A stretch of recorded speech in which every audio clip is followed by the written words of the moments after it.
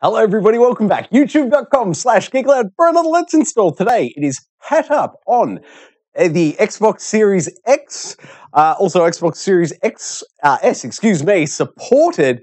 Uh, this one is a small indie one. I need to say the key was supplied by the developers, so thank you very much for that. And it is a mere 439.06 megabytes. Now, I've already gone hands on with this one, and I can tell you it's a 30 level 2D, uh, not side scroller, it's 2D fixed level platformer, very much like an old uh, NES game. And the other big tip for this one is it is a high hand, uh, high scoring, high gamer scoring. The achievements are worth a lot and they come pretty quick. If you're looking to boost that gamer score up real quick, uh, Hatup may just be the indie title for you to boost that score. Maybe you're trying to win some sort of monthly leaderboard challenge amongst you and your friends. Hey, Bully and Steve. Speaking of Bully and Steve, they will be back with me on the couch this Thursday night, 8 p.m. right here on Geek Aloud for the Gaming Enforcement Agency, our weekly video gaming podcast. Consider this your official invitation. Come on by, check it out. We cover all the games we've been playing, and of course, we cover the news of the week. It'll be great to see you there in that YouTube chat.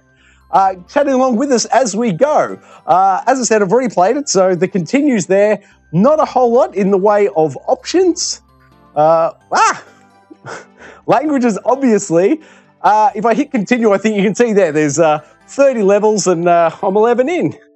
But let's jump on out now, pull up the particulars and wrap up this here Let's Install video. I can tell you, Hatup on the Xbox Series X is currently version 1.0.0.0 and that is 69 uh, Snow, 695.1 megabytes. Thank you very much for joining us here on Geek Aloud for another Let's Install. Hopefully we see you Thursday night, 8 p.m.ish for the Gaming Enforcement Agency. What else can you do with Geek Aloud? Like it, subscribe it, you'll never miss it.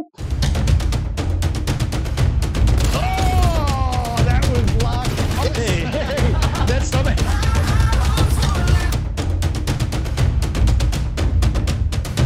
I love everything about it. Ooh.